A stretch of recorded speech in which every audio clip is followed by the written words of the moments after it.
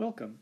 In this video, we will look at how limit rules allow us to compute and justify limits of functions that are constructed from more elementary formulas whose limits are known. In our example, we suppose that we know a particular limit. We know that the limit of f of x over x, so that's our function, as x goes to 0, that limit has a value of 4.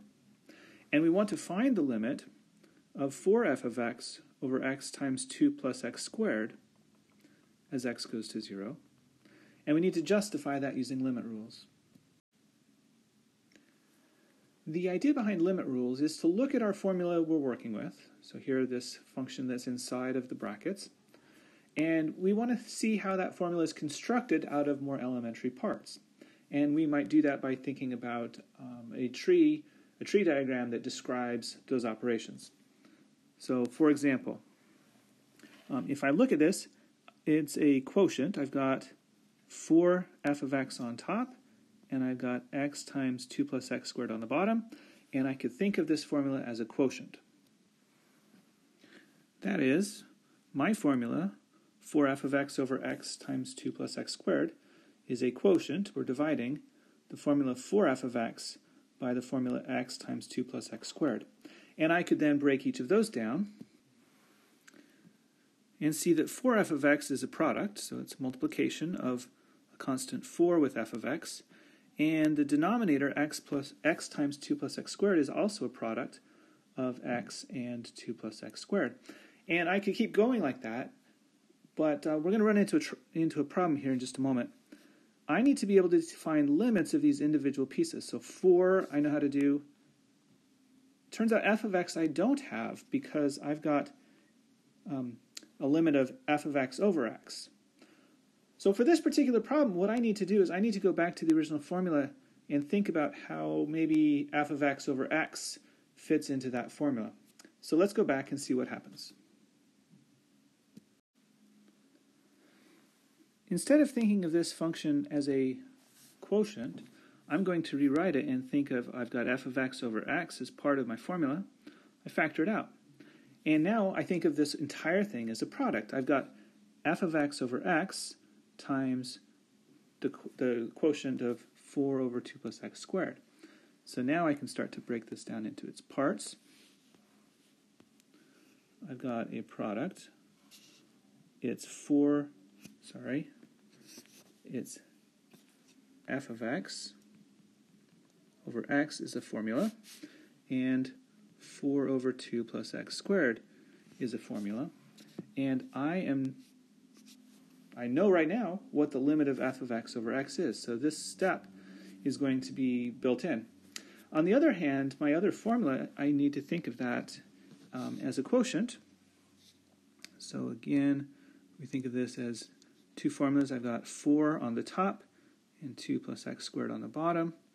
And I think, all right, 4, that's a constant. I know how to calculate a limit. Uh, but 2 plus x squared, that's still a formula that's built from more basic parts.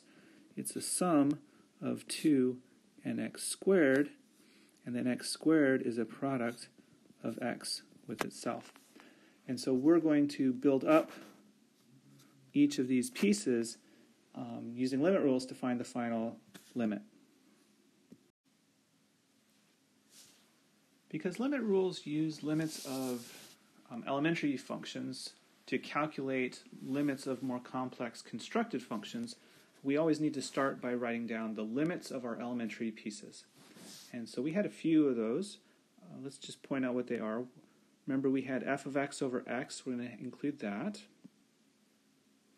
Uh, we had two constants. Remember, we had the constant 4 and the constant 2.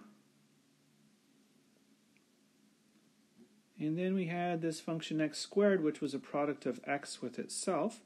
And so x is my elementary piece. So these are our four elementary starting points.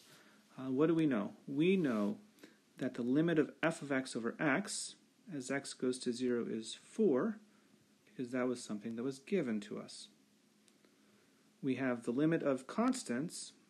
Well, constants aren't changing, so it doesn't matter what x is the limit of x, sorry, of 4 as x goes to 0 is 4, and the limit of 2 as x goes to 0 is 2, and these are both constant functions. And that's an elementary function we know the limits of. Finally, we have the limit of x itself. If x is going to 0, the limit of x is naturally 0, and this is the limit of the identity. Those are my elementary uh, limits. And what we'll do now is we're going to use the limit rules to uh, construct more complicated formulas. In our denominator, we had 2 plus x squared, so we need to build up, and before we can do the sum, we need to do that x squared. So x squared, we need its limit as x goes to 0. And a squaring just means we're multiplying x times itself. So let's write that. Our limit that we really are doing is x times x as x goes to 0. And uh, the way that the limit rules work is uh, I've got x is something I've calculated earlier in my limits. And the product of x times x has a limit that's going to be the product of 0 times 0. And so the limit of x squared is really 0 times 0 or just 0. And this is the limit of a product. Once I have the limit of a product, I can now um, construct 2 plus x squared using the limit of a sum. We know the limit of 2 from our third step, and we know the limit of x squared from our fifth step. And the limit of 2 was 2, and the limit of x squared was 0, and so this limit is 2. That's the limit of a sum. And that's our denominator. We can now construct the limit of our quotient.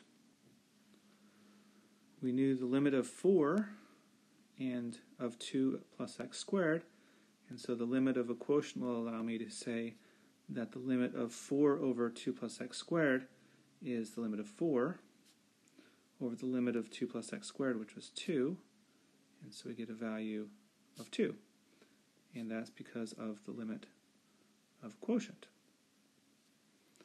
And now we're almost done. The last step is to multiply our two results the limit of interest for f of x over x times 2 plus x squared, um, we rewrite that. We think of that as the limit of f of x over x times 4 over 2 plus x squared. We do, we already know both of those limits. f of x over x has a limit of 4, and 4 over 2 plus x squared has a limit of 2. That is the product rule again. And our final value is 8.